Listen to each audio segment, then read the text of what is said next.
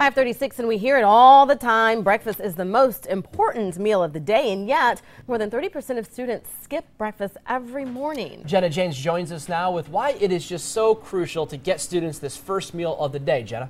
Good morning, Dave and Serese. Students who eat breakfast are guaranteed to outperform other students that don't. A number of studies have shown that. Not only are they going to do better on their test scores, they're also going to have less sick days and have a stronger sense of community since they'll be sitting down with others to eat breakfast. Now, not only that, but they're going to participate more and then they're going to learn to love school again. 76% of teachers say that once they started seeing kids eat breakfast in the classroom, test scores went way up.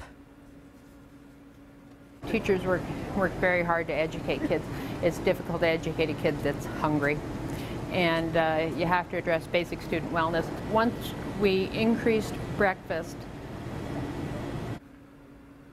so what are those kids eating? Well, it's not going to be something like cereal since kids want something they can grab and go. This takes too much time. You have to sit down and actually eat it. Instead, it's something like a breakfast bar or a breakfast sandwich that kids really love. So I took a look at what are different school districts serving this morning for breakfast. Well, Ralston High, they're doing waffle sticks or a sausage muffin.